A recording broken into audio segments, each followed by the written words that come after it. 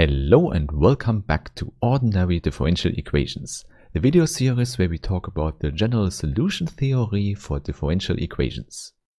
And indeed, in today's part 27, we will write down all possible solutions of a second order linear ODE. This will be not so much work because we can use everything we have done up until now. In particular, part 26 will be really helpful because there we completely solve the linear system of dimension 2. However, as always, first I want to thank all the nice people who support this channel on Steady, here on YouTube or via other means. And please don't forget, as a member you have access to every video and to a lot of additional material. And with that out of the way, we can immediately start with our topic of today, which is about the general linear ODE of order 2. And as before, we keep it simple by just looking at the autonomous case and also just at the homogeneous part. And this implies that we can easily write down the general case of such an ODE. It's the second derivative of x plus a1 times the first derivative of x. And then we also have plus a0 times the function itself. And in the homogeneous case, this is just equal to 0. And this is all, this is our one-dimensional ODE of second order. So you could say the only thing that goes in are the two coefficients a0 and a1, which should be real numbers. And at this point you should already know that we can equivalently reformulate that into a two-dimensional ODE of first order. This is quite simple, we just say that y1 represents our original function x, and y2 should represent the first derivative of x, so x dot. And then we can just use a vector with two components, namely y1 and y2. And then we take the first derivative, so I put a dot on the top, and the result is a matrix vector multiplication. So indeed, we always get a linear system out. And the matrix A that is involved is quite easy to write down, because in the first row we just have 0 and 1, because the derivative of y1 is simply y2.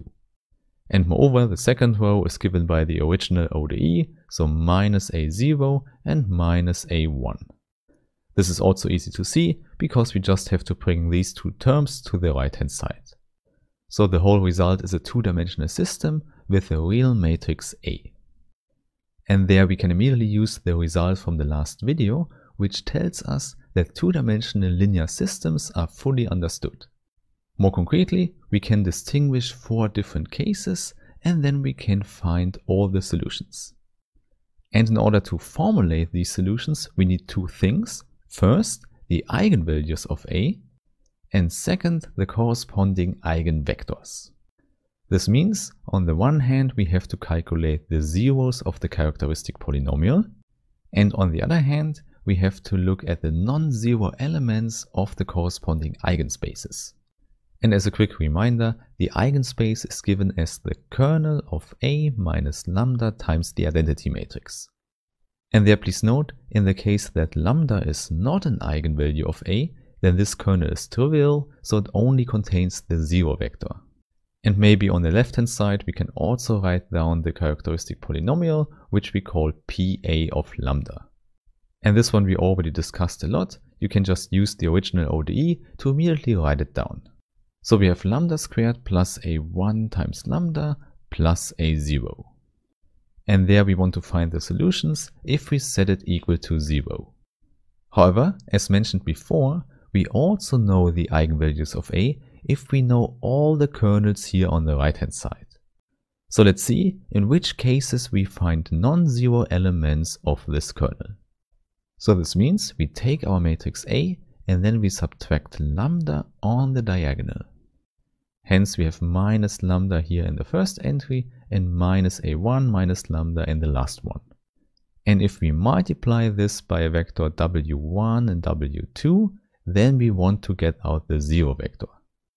So this is what it means that the vector w lies in the kernel of this matrix. So what we actually have are two equations and three unknowns. And in fact, the first row gives us an equation which is immediately important. It's minus lambda times w1 plus w2 is equal to 0. And this is important because it directly tells us that an eigenvector always has to satisfy that the first component is non-zero. If it was zero, then the equation tells us that W2 is also equal to zero. However, the zero vector itself can never be an eigenvector. So this is a result we can immediately fix for the rest of the video. And in addition, we also see that we can just scale our eigenvector such that the first component is equal to 1. Therefore, we can assume without loss of generality that our eigenvector w has in the first component a 1. However, this immediately implies something for the second component because we already have this equation here. Indeed, w2 has to be equal to our unknown scalar lambda. And now these two things we can just put into our matrix vector product and you see it looks much simpler now. And please recall what we actually want to have is the zero vector as an outcome. However, here on the right hand side, we can expand our matrix vector multiplication to see the result. The first equation was already solved before, so there we get our zero. But the second equation is a little bit longer because there we have minus a0 minus a1 times lambda minus lambda squared. And this is all, and there you should recognize that this is exactly minus the characteristic polynomial. So there we have it, we have 0 and minus pa of lambda. So this means if lambda is an eigenvalue, then this whole equation here is equal to the 0 vector, and therefore 1 lambda is also an eigenvector for this eigenvalue. So let's state this as our first result, eigenvalue implies eigenvector. This is really nice because we have the form of the eigenvector which we need for our solution of the ODE. However, you should note that we can also read the equation the other way around, which means if we have this vector as an eigenvector, then we get out the zero vector, which then implies in the last row that the characteristic polynomial has a zero at this lambda. Therefore, the implication also works the other way around, so we have an equivalence here. And most importantly, the only other eigenvectors we can get for our given eigenvalue are the scaled versions of this vector. So the calculation also shows that the corresponding eigenspace is always just one-dimensional. This is a very important fact when we look at the four cases which we had for the two-dimensional ODE system. So as a reminder, let's write them down again and we called them 1a, 1b, 2a and 2b. As you might remember, for the case a1 and ab, we had two different eigenvalues for the matrix A.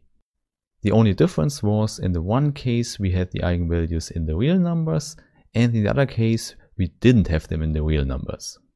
So we had proper complex numbers for the two eigenvalues.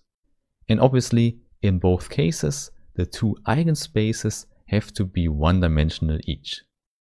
In contrast to that, the cases 2a and 2b only had one eigenvalue for the matrix A. And there we could distinguish either A is still diagonalizable or it's not.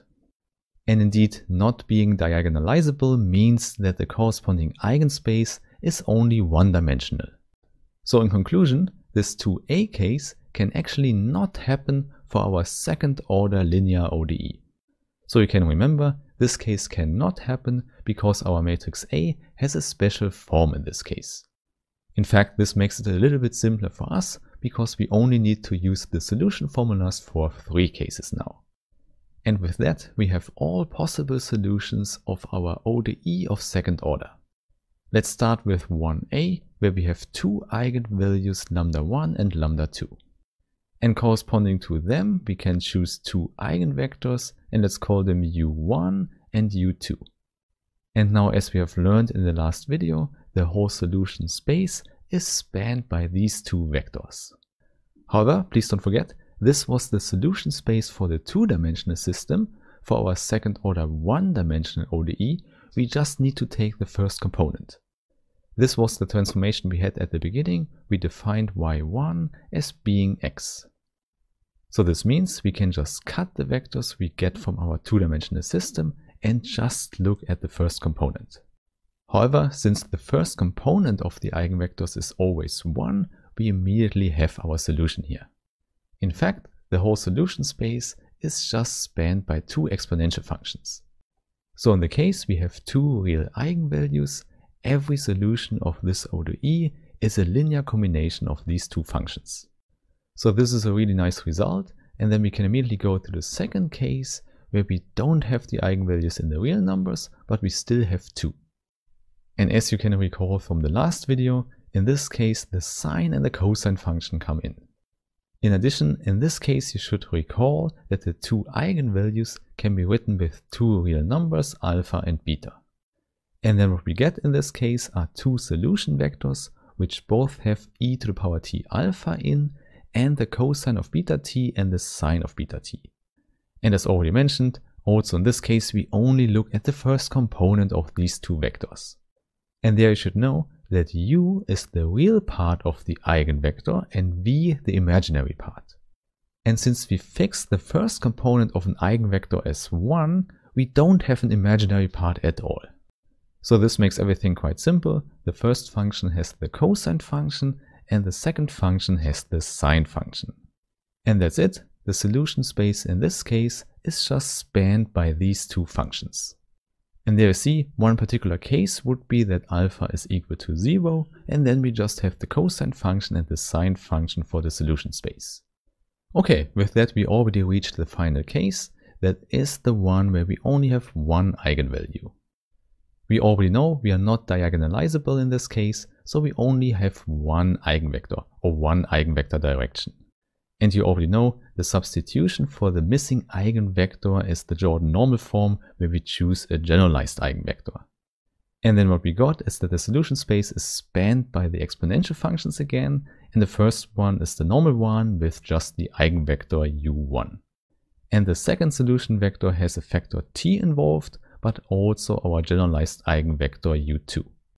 However, as before, the good thing is we only need the first component of both solution vectors. And since the eigenvector has a 1 in the first component, we just have the exponential function. And the second function looks similar, but there we have the factor t as well in front of the exponential function. Actually, there we also would have to add the exponential function that comes from the generalized eigenvector as well, but because this one is exactly the same as the first one, we don't need it in our linear combination. Hence, it does not matter at all what this generalized eigenvector is, because the solution goes in the same direction as the first solution anyway. So we know the solution space is spanned by these two vectors. And there we have it. This is the whole result. Now you can solve every general linear ODE which is autonomous of second order. You just have to calculate the zeros of the characteristic polynomial and check in which case you are. And then you immediately know the two solutions that span the whole solution space.